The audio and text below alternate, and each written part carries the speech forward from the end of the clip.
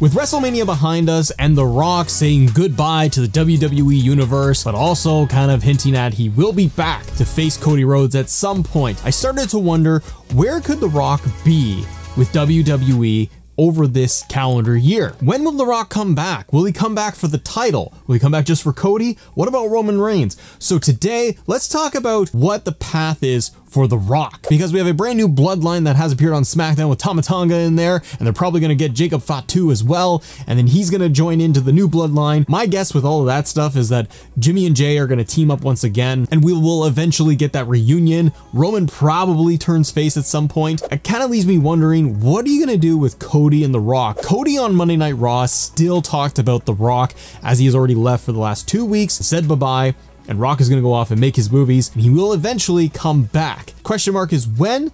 What capacity? Will he wrestle? Is he just going to wait till WrestleMania 41 and take on the Tribal Chief in just a one-on-one -on -one match? What's the story? And I think that this is the long-term play, is that they will eventually get to Roman Rock, but I do believe they are going to give us Cody versus Rock one-on-one. -on -one. So how do you do it? There's a couple of different ways. And does The Rock end up winning the undisputed WWE Championship off of Cody Rhodes. To me, I don't really see Cody holding the belt for a year, two years, doing this epic long reign like Roman Reigns did for the last three, four years. We've done that. I personally don't like the really long excessive title reigns to try and break these records. Roman Reigns did it. It's an epic story, but we're done with that. I like seeing the titles get moved around a little bit. I don't need a hot shot on Monday Night Raw and Cody drops the title. No, but I do feel like Cody could hold the belt for like six months, drop it, and it's okay because Cody is really cool when he is chasing. That's what this whole story has been. And I think it'd be a cool story arc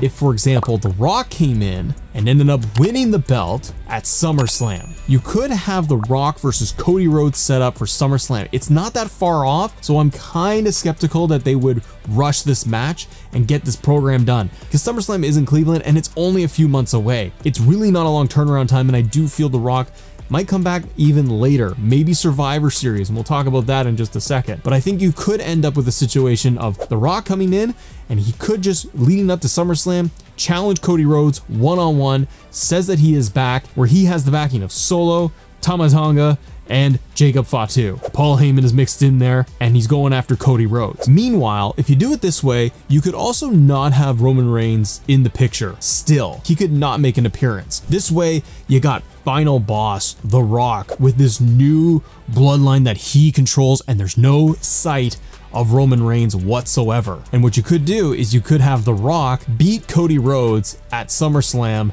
by having this new evil, like super powered up bloodline with Final Boss, and they take that title off of Cody Rhodes. And then you could do the old bloodline versus new bloodline with The Rock. In a War Games match, you could end up having The Rock and his new bloodline teaming up to go up against Cody, Jimmy, Jey, and Roman Reigns. And that could be when Roman makes his return in that match and he's with his family once again. Maybe you could even include Sami Zayn if they want to equal out the numbers and make them even stronger. But that would be an interesting War Games. Also, that means that The Rock could come in last in War Games match so he doesn't have to actually fight and then he could still retain the belt. Or he could have the faces go over and beat the new final boss's bloodline. If you do all of that, you're going to say, well, what's going to happen to Cody with the belt? Maybe Cody isn't going with the belt at WrestleMania next year. Maybe Cody is going to go off and fight Randy Orton, and maybe they just have a one-on-one -on -one match.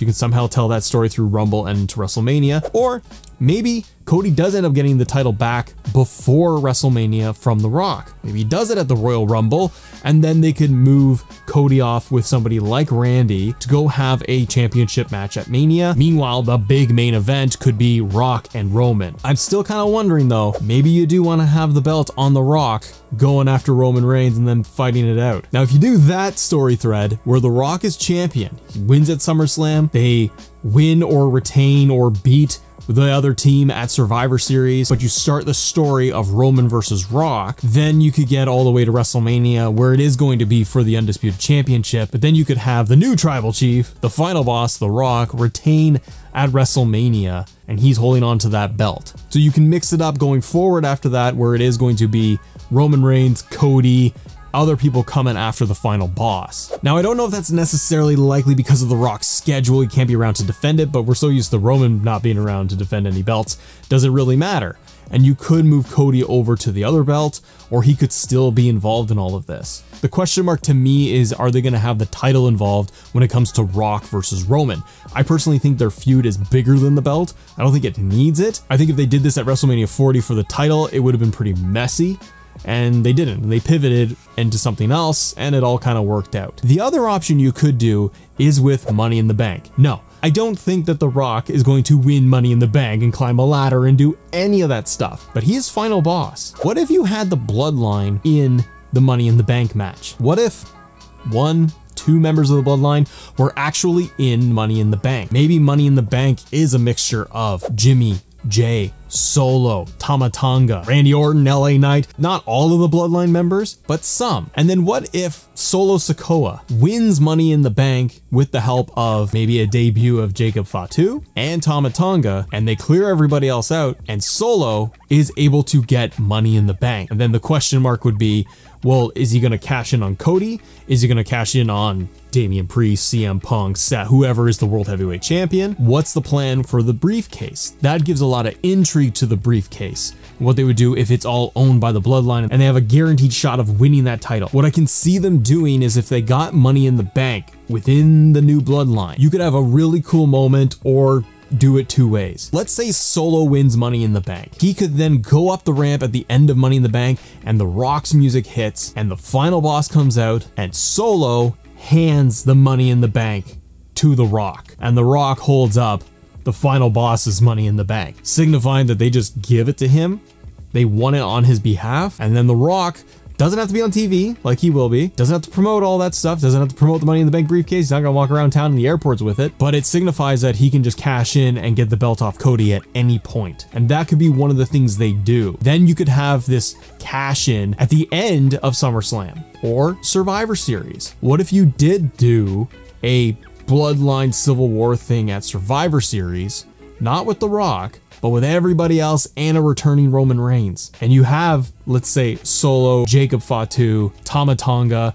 maybe a Jimmy. Maybe Jimmy is reluctant. I know they beat him down and then he's basically kicked out of the bloodline, but maybe he has to stay with them reluctantly and he doesn't want to. And they lead that story up. And then it's going to be the faces on the other side. What if at the end of a Survivor Series War Games, it all ends, the new bloodline win, they beat all the faces down, and then you get the final boss to just walk out there. You could be in his sweatpants, and The Rock comes out, and he just hands the briefcase and cashes in, and then he gives a rock bottom, and destroys Cody Rhodes and he wins the belt that way. That gets maximum heat on The Rock, keeps Cody as a huge babyface, then you're going to springboard into the Royal Rumble and WrestleMania. And WrestleMania next year is going to be very interesting. And again, that is if we want to have the scenario of The Rock holding the belt and then to go to Roman Reigns. But I do think that there's kind of those two options if they want to have The Rock win the belt. The other thing they could do as kind of a third option is the Royal Rumble. They could have The Rock come out as number 30, he is final boss, and the final members in the Royal Rumble could be Roman Reigns, it could be Randy Orton and a few other people, maybe more members of the bloodline. But let's say Roman Reigns did come back and he is a huge babyface and they've geared him to win the Royal Rumble, but what if it's cost by The Rock, and The Rock just costs Roman the Rumble shot or eliminates him in the Royal Rumble as number 30 one way or another. You could have The Rock cost Roman Reigns the Rumble, and then that way they can get to WrestleMania. So they would have already had shenanigans and everything breaking down from SummerSlam, Survivor Series, and now the Rumble and Roman getting cost. And again, you supremely babyface Roman Reigns with all of this. Then you can get to WrestleMania and they can do a clean one-on-one match, final boss versus Roman Reigns as a huge face, and Cody is doing like Randy Orton as an example for their story for the Undisputed Championship. It all depends also at this time when the draft shakes out and who's going where. But there are a couple of different ways that The Rock could actually win the belt. And I do kind of like the idea of Bloodline almost presenting him a title shot, giving it to him, and The Rock just strolling in as final boss and taking it from everybody. Are they going to mix it up? Is it going to be a three way Rock, Roman, Cody at 41? Or are they going to do straight up one on one? I think the Cody match with The Rock does need to happen. And I think it does need to happen before WrestleMania. Unless they want to do Cody Rock WrestleMania 41 and they save Rock and Roman for 42. There's a lot of possibilities, and that's the interesting and fascinating part with all of this. But comment below, how would you book The Rock? How would you book him to win the title? Does he even win the title? Let me know in the comments below if you guys enjoy videos like this. Hit the subscribe button, hit the like button. I'll see you on the next one.